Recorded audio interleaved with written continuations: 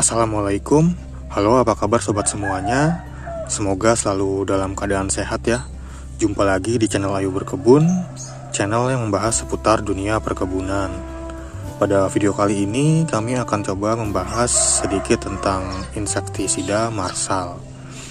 Nah, seperti apa insektisida marsal ini, bagaimana cara penggunaannya, dosisnya, serta hama apa saja yang bisa dikendalikan dengan insektisida ini Langsung saja kita coba bahas ya sobat ya seperti apa insektisida marsal ini. Kita lihat dulu di sini ada keterangannya. Jadi insektisida marsal ini adalah insektisida sistemik racun kontak dan lambung berbentuk pekatan yang dapat diemulsikan berwarna coklat untuk mengendalikan hama-hama serangga pada tanaman bawang merah, cabai merah, jeruk, kapas, kakao, kedelai dan yang lainnya sobat ya. Yang penting itu hama sasarannya sobat ya. Nah, di sini kita bisa lihat hama sasarannya itu apa saja ada kutu daun, ada hama trips, ulat gerayak, orang kapas, dan juga ulat kantong. Nah, di sini ada petunjuknya sobat ya, tarik di sini. Ini kita coba buka di sini.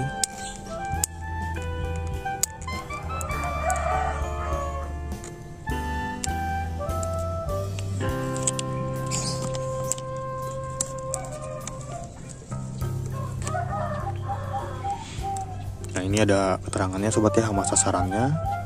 Ada ulat gerayak, tungau, kutu daun, hama trips, pengisap buah, orang kapas, penggerek polong. Dan dosisnya bisa sobat lihat di sini 1-2 ml per liter air untuk ulat gerayak. Dan yang lainnya bisa sobat langsung lihat sendiri ya sobat ya.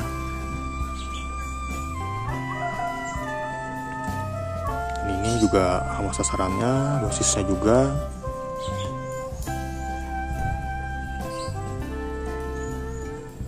Kemudian untuk cara dan waktu aplikasi yaitu dengan cara penyemprotan volume tinggi. Waktu aplikasi itu apabila populasi atau intensitas serangan hama telah mencapai ambang pengendalian setempat. Kemudian untuk tanaman kelapa bisa sobat lihat di sini. Cara aplikasinya itu dengan cara diinjeksi batang atau akar. Nah, di sini juga ada peringatan bahaya dan petunjuk keamanannya juga sobat ya. Sebagaimana insektisida yang lainnya, jadi sobat jika menggunakan insektisida ini harus menggunakan sarung tangan serta menggunakan masker juga supaya lebih safety lagi. Nah, di sini juga ada gejala keracunan dininya. Serta ada juga petunjuk pertolongan pertama ada keracunan.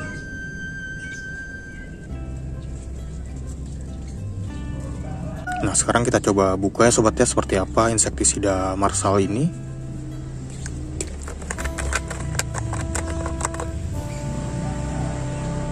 Jadi dia dibungkus aluminium foil segelnya.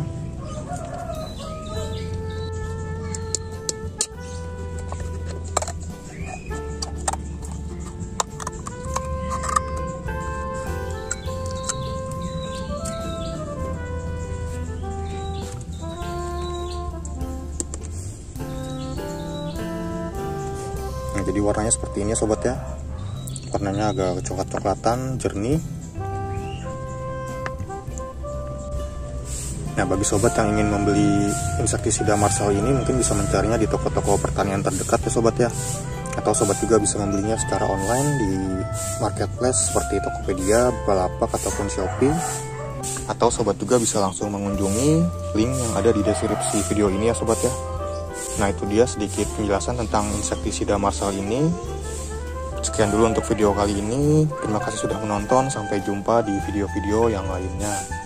Wassalamualaikum warahmatullahi wabarakatuh.